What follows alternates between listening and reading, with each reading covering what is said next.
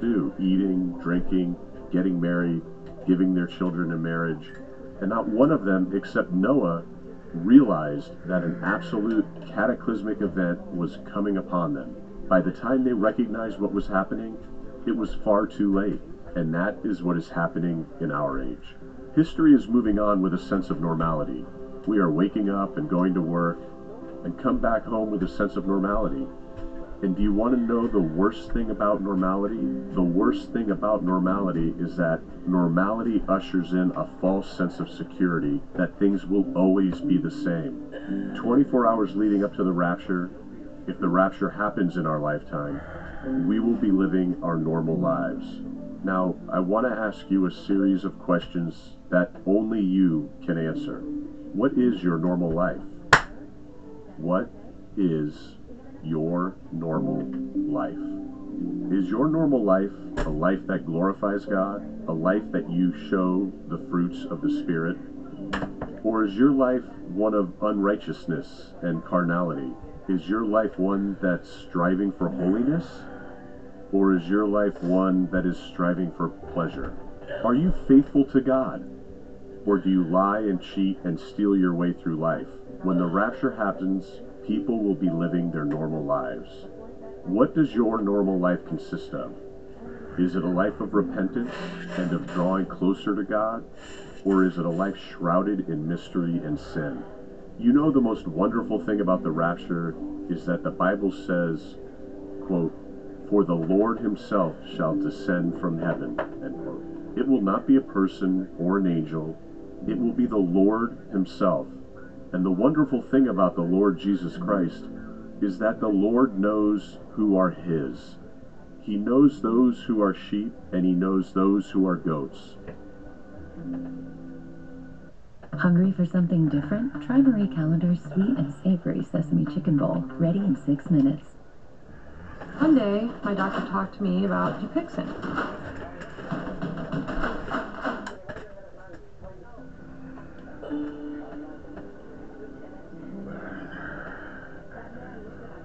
Forgive me for what I'm about to say because this will be very blunt, but in all honesty, the Bible is a very blunt book. Matthew chapter 5, verses 29 through 30. If your right eye causes you to sin, pluck it out and cast it from you. For it is more profitable for you that one of your members perish than for your whole body to be cast into hell. And if your right hand causes you to sin, cut it off and cast it from you. For it is more profitable for you that one of your members perish than for your whole body to be cast into hell. Jesus is not speaking literally. He is using a figure of speech to show you how seriously we should deal with sins in our lives. The 24 hours leading up to the rapture, there will be people who will spend the night before partying in clubs, looking to indulge themselves with the pleasures of sex, drugs, and rock and roll.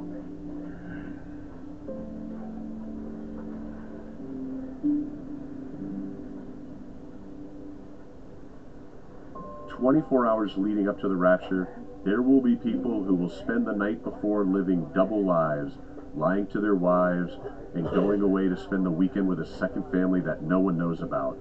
24 hours leading up to the rapture, there will be people who will spend the night before living double lives, lying to their husbands, and going to meet their high school sweetheart. 24 hours leading up to the rapture, there will be people who will spend their whole day gossiping and backbiting others. What is your normal life? Is your normal life one that seeks the ones who loves you? Jesus loves you and wants a relationship with you. Don't listen to some modern day preachers who attempt to paint the picture that God accepts and condones all lifestyles. He doesn't. God instructs us to be holy as he is holy. The Bible says James chapter 4 verse 8 Draw nigh to God, and he will draw nigh to you. Move closer to God, and he will move closer to you. God has a tendency to develop relationships with normal individuals. Normal individuals, like you and me, are able to draw closer to the Lord, and we see this in the Bible. Individuals with no qualifications, individuals with no credentials, drawing closer to God. we see individuals with dark histories, individuals who have committed horrendous sins, also develop a relationship with the Lord. And this can be you too. You can have a relationship with God. And the wonderful thing is, 24 hours leading up to the rapture, there will be men and women all across the world drawing closer to God. I encourage you to keep seeking the face of the Lord. It may seem like you are alone. It may seem as if you are one of the few people who are attempting to live for the Lord. 24 hours before the rapture, there will be those who will spend their days crying out to a merciful God. At this point, Jesus will fulfill his wonder promise in John 14. 1. Let not your heart be troubled. Ye believe in God, believe also in me. 2. In my Father's house there are many mansions. If it were not so, I would have told you. I go to prepare a place for you.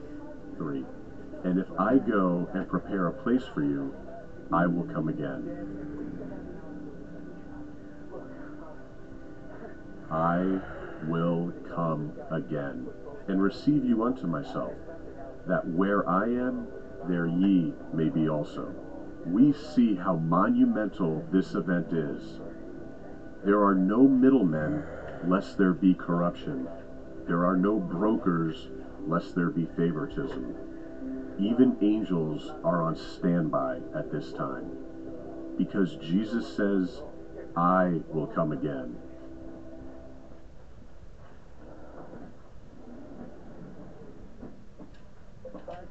the three demons in the book of Revelation.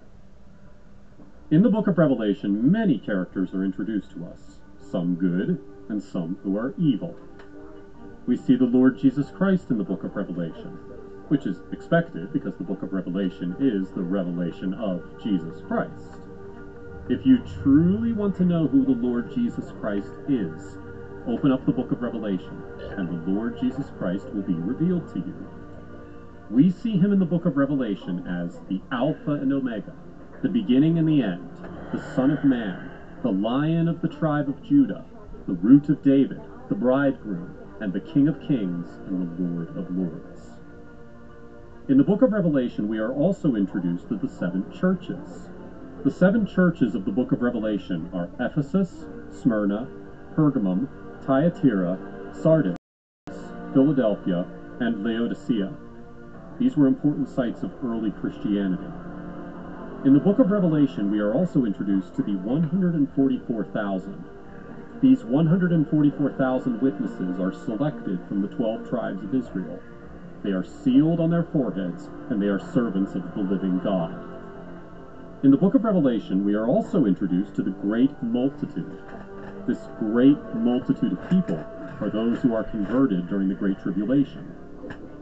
In the book of Revelation, we are also introduced to the two witnesses. The identity of the two witnesses of God is not known at present, but what we do know is that these two men are the representatives of God, and they come to witness to the world and perform miracles for three and a half years in Jerusalem. They warn the world and tell the world that all people need to repent of their sins. We are also introduced to dark characters in the book of Revelation, characters that bring destruction along with them. In the book of Revelation, we are introduced to the four horsemen of the apocalypse, and they come with the beginning of sorrows spoken of in Matthew 24, verses 4 through 8. In the book of Revelation, we are also introduced to Abaddon, who is the angel of the bottomless pit. In Hebrew, the name Abaddon means place of destruction. The Greek title Apollyon literally means the destroyer. Abaddon is the leader of the demonic locusts, which will rise out of the abyss when the fifth angel blows his trumpet. In the book of Revelation, we are also introduced to the dragon, who is no one other than the devil, that serpent of old called the devil and Satan, who deceives the whole world, accuser of the brethren, the fallen one. In the book of Revelation, we are introduced to the beast from the sea with seven heads and ten horns. This is no one other than the Antichrist. In the book of Revelation, we are introduced to the, the beast from the earth. This is no one other than the false prophet.